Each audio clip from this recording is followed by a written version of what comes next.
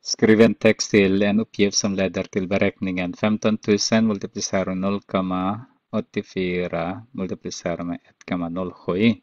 Så ser vi att vi har två förändringsfaktorer. Den sänktes med 16 och sen den ökade med eh, 7 procent. Okay. 16 procent och 7 procent. Så kanske eh, en moped kanske säger vi. Moped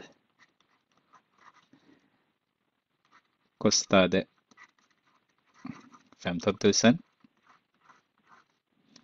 Eh, efter en månad sänktes priset med 16 procent.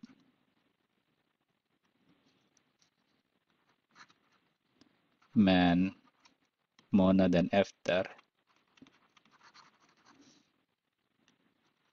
en månad efter kanske det är bättre. Tre månader säger vi. Så.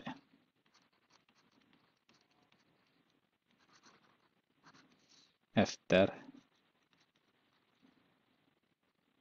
höjdes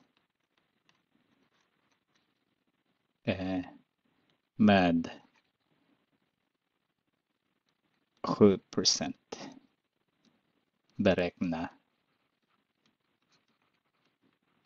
det nya priset. Så. Nej. Då så. Eller det är oändligt många eh, exempel på den här frågan.